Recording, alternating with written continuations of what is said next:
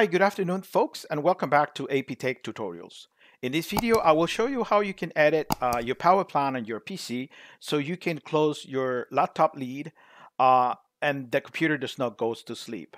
Although this tutorial will be presented in a machine running Windows 11 Pro install on it, it's also applicable to any other versions of Windows operating system like Windows 7, Windows 10, 8.1, etc. Now let's jump into it. Um, on your laptop, click on Start, and on the search, type Control. And uh, you will see here, Control. Either you can open it here or open it here on the side. Either way is fine. I'm just going to open it from here. So this is the window showing the control panel, right? So in he, this portion here, uh, type Power.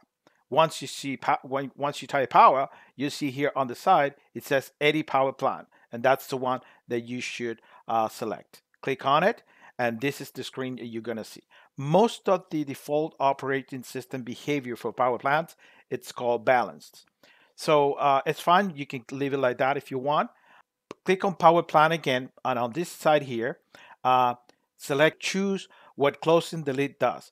Why do you need that? For example, you have you're connected to an external monitor and you are uh, you're also using your laptop and an external monitor, and but you don't want to be looking at the laptop because either uh, it's a small screen or it's simply uh, the screen is broken and you don't want to look at it. So you want to close it, and when you close it, then you can uh, you can see the same image on the on the external monitor. All right.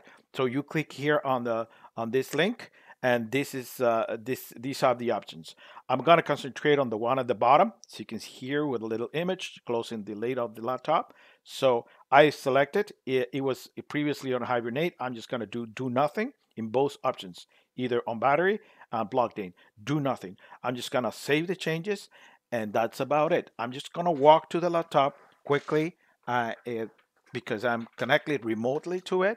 I'm just going to close the lid. You're going to hear the sound on the background. I just close the lid and as you can see, nothing happens. It flicks a little bit. Uh, in your case, it will flick a little bit, but that's about it. That's all you're going to see. Okay. Hope you liked this video. And if you did, please give me a like and uh, subscribe to my channel. Thank you and have yourself a great day.